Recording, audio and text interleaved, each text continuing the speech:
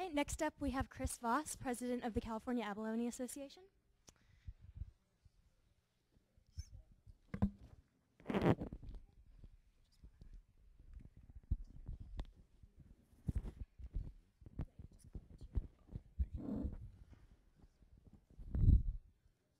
Good afternoon. I'd like to start by thanking Kristen Bohr and Dan, Heather, Ariel, Josh, Sarah Valencia, Sarah Rathbone, Chris Costello, Steve Gaines, John Milak, and, and everyone else that uh, worked to make this um, whole presentation a possibility or a, a reality. Thank you. Um, also, I'd like to start here with a quote from um, the Nobel Committee when they um, were talking about the work of Elinor Ostrom, who was the first woman to win the Nobel Prize in Economics. And uh, what they said was her work shows that local communities often manage common resources such as, such as woods, lakes, and fish stocks better on their own than when outside authorities impose rules. And then Elinor, ex explaining her, the significance of her work, uh, this is a direct quote, said, bureaucrats sometimes do not have uh, the correct information while citizens and users of resources do. And I, I, I, she won the Nobel Prize, and I feel like that's pertinent to this discussion. um, that's true. Uh, I, I think that um, there's a need to delegate authority um, within our system currently with the governor, head of resources, uh, Department of Fish and Game, and the commission as the structure that deals with um, terrestrial and aquatic resources.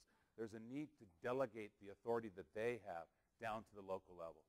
And uh, the parallel that I like to use, because it's so obvious and so, so critical to all of us um, in this room, is that um, with the rest of our governance, it's the governor, it's the legislature, it's um, the, judici the judiciary, the county, the city, and then in our case here in Santa Barbara, there's a harbor department. And every one of those organizations and institutions have authority that's been delegated down, starting with the federal government. So the point is that we're surrounded by working organizational structures that bring authority down to the local level that is what helps our society function successfully. And I think in the case of resource management, there's a gap between the Department of Fish and Game and the Commission and the citizens that end up having direct contact and access to, to resources. So um, what can we do about that? And what, what, what things could we contemplate? And uh, in our effort, the CAA's effort, th this started, I'll start with a, just a little personal story. The reason I got involved was we had a seminal meeting here of the, the California, before I was president of the California Abalone Association. We had an organizational meeting that brought everybody back together after nine and a half years or nine years of closure to discuss what is possible prior to the, the approval of the Abalone Recovery and Management Plan by the Commission in 2005. And um, in that meeting, we, we agreed as a group to take an equal share of any future access. So um, that's a good starting point for moving forward with what is now evolved into a pretty um, sophisticated management approach. So I think um, that's described as a pretty big hurdle for anybody else trying to embrace um, these kinds of management ideas with existing fisheries. We don't have an existing fishery. Everybody that's um, a former abalone diver um, would be anxious, hasn't really felt like there could be a fishery in the future, would be anxious to um, share any future access evenly. It's kind of a compromise uh, on the part of um, a lot of the individuals within the community. So then um, the other seminal moment was when the concept of a cooperative struck home in that we were, as a an association um, not able to figure out how to hold all of our members kind of together as we, as we developed ideas about co-management and collaboration and, uh, and then funding some of our own activities, we, we, um, we tried to think in ways that how, how could we actually unite our organization in some meaningful fashion and hold everybody to a standard. And, uh, and so the cooperative concept, introduced to us by Chuck Cook through Jill Sullivan, turned into a, light bulb situation. So embracing that as the appropriate democratic structure to move forward um, to, again, fill this gap between um, the Department of Fish and Game and, and the resource. And then what we found was that it's critical, and what, what we found was successful in other situations, was this need for a third entity. And in our case, we've embraced this institution, the Bren School, as our third entity, our scientific evaluation entity. It's going to help us to, at least from the assessment aspect of this, and then from the co-management perspective of a cooperative, hopefully collaborative obligation, if we can establish one with the state. Um, we needed this balance. We needed a, no, a, more scientific entity that would, that would help inform us moving forward. So the, what we've done is we've, we've worked to um, flush out some of the details that we would have to work out to create a cooperative, and then also reached out to this, this, this particular scientific institution to help us um, work through the details of a, of a co-management arrangement. Um, I think the, one of the key pieces here is this idea of allocating the commercial uh, TAC, whatever amount of abalone, if it were determined um, safe to do, to, to harvest, whatever amount that would be, that would be allocated to the commercial, it would go entirely to the cooperative. So we would be responsible collectively for, um, for meeting an obligation that the state would spell out to actually receive that, um, receive that allocation. So it's a little bit different dynamic than when we were talking about enforcement and, and the need for accountability. If the allocation is going to the group, then, then and, and, and this is a, another jump here, through an MOU, MOUs and regulation that describe the nature of the relationship between the cooperative and the state, we can work out the details of, um, of how to hold us directly accountable for accomplishing a successful co-management arrangement, uh, as well as meeting the economic needs of the state to um, manage the resource with us. So in the shared management arra arrangement, we're hoping to cut the costs to the state and then, in, in certain situations, reimburse the state for their own expenditures. And those, those kinds of um, details will be, be worked out through these MOUs and this regu regulatory um, process. So um, I think that creates a slightly different dynamic than we've seen in the past.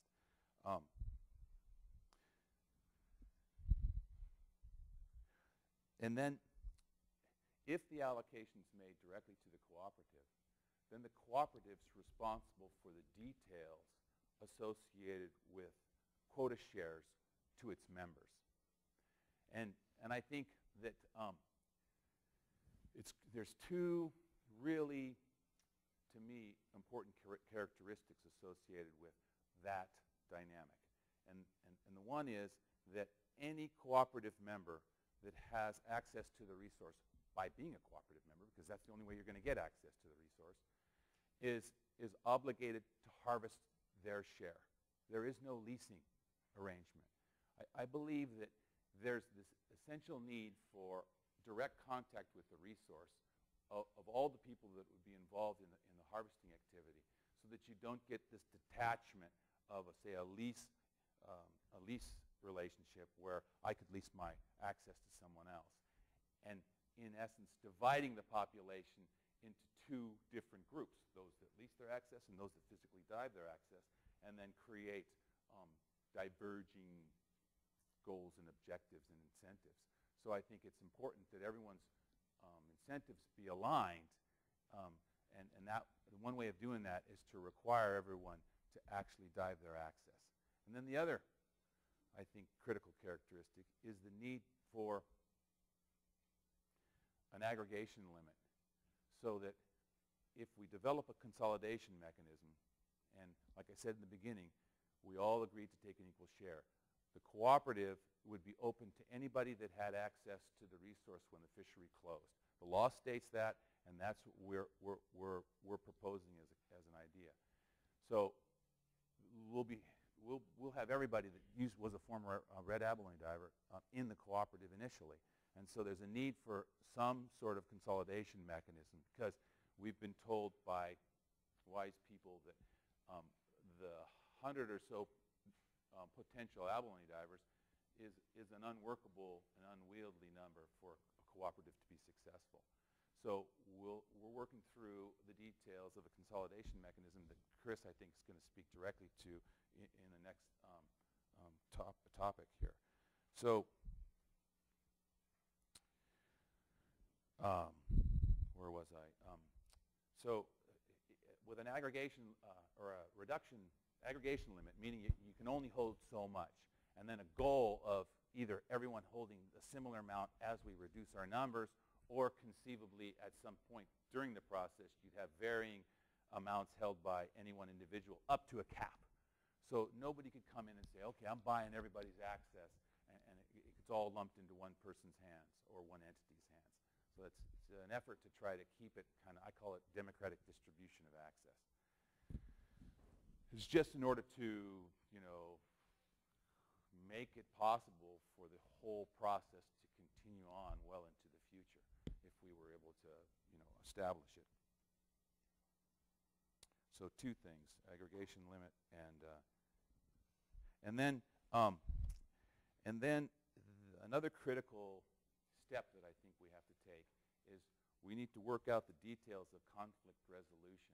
And I think in the MLMA review, they spoke directly to the need for, I mean, uh, there, there's, there's, there's two aspects of this. Let me, let me back up here. Um, there's, there's the enforcement of rules and regulations that the cooperative's going to have and be able to impose on its members. So that, again, is releasing some of the burden on the state. But then there'll be um, real serious violations that will still be in the hands of the state. If, if there's the need for uh, revoking someone's access for some egregious resource violation, that would, would of course be uh, something that the state would um, deal with.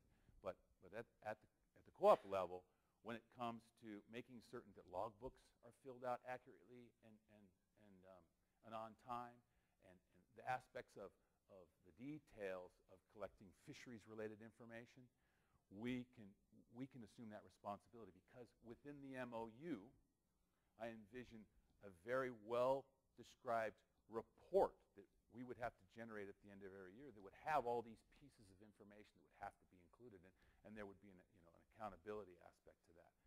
So, um, so then also, this is an interesting thing. Joe Sullivan made it clear that from a legal standpoint, cooperative has the capacity to sanction its members. If you sign up to be a cooperative member, you're going to sign a, a, document that states that these are your obligations, and, and then therefore you're, you're required to meet those obligations or we'll take steps. And I think we'll end up over time developing a kind of a precedent. If someone does this wrong, this is the consequence. And we'll end up you know, creating some sort of mini legal system within our cooperative.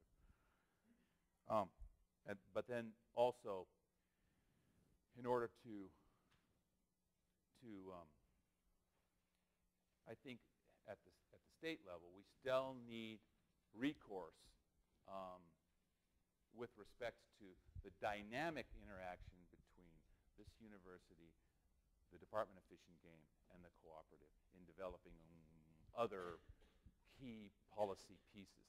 The, the thing, I, again, I want to emphasize that the reason this will work is because I believe everybody has the same goal and objective, and that is sustainable resource management. It's the resource first.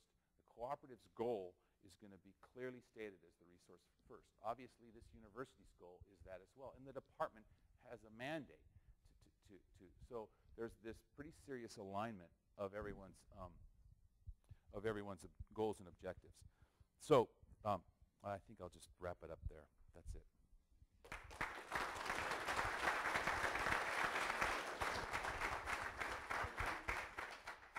Thank you very much. We have a few minutes for questions now.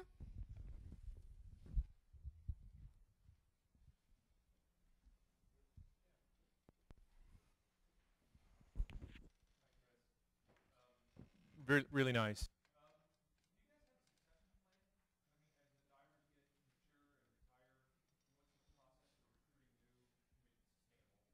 Yeah, that's a good question. Um, yeah, do we have a succession plan? Um, well, there's been discussion in our consolidation, how we get to a certain point, the workable point, that we would then at that point have um, external transferability.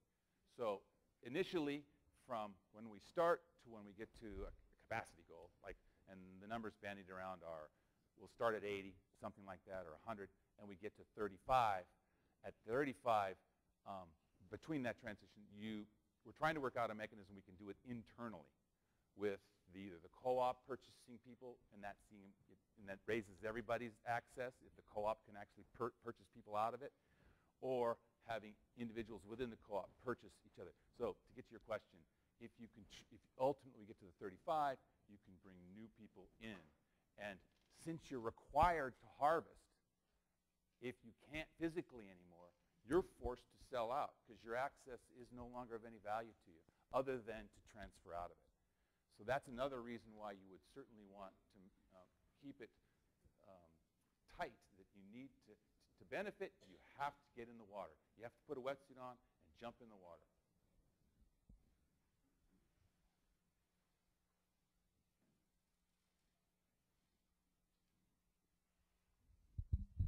Okay, well, if there aren't any other questions, then we will move on. Thank you very much.